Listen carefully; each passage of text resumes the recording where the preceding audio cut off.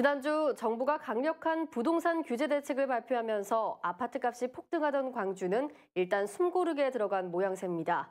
광주시도 강력한 단속과 함께 공공아파트의 공사 원가 공개까지 검토하겠다고 나섰습니다. 이계혁 기자가 취재했습니다. 이례적으로 급등하고 있는 광주의 아파트값. 일부 아파트 단지는 올해 들어서만 수억 원씩 치솟으면서 대책을 마련해 달라는 청와대 국민청원도 잇따르고 있습니다.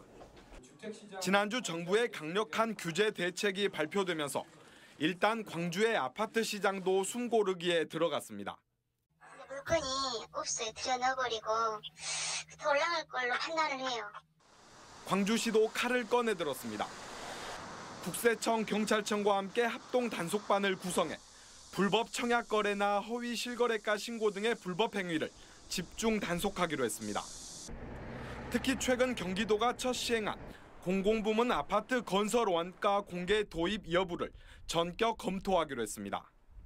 건설 원가를 공개해야만이 실제 아파트 분양가가 적정한 건지 그런 것을 판단할 수 있기 때문에 그런 거 쉽지 않겠지만 그런 부분들을 중앙에 건의해서 아파트값 안정을 위해 정부와 지자체까지 나서 각종 대책을 쏟아내는 상황.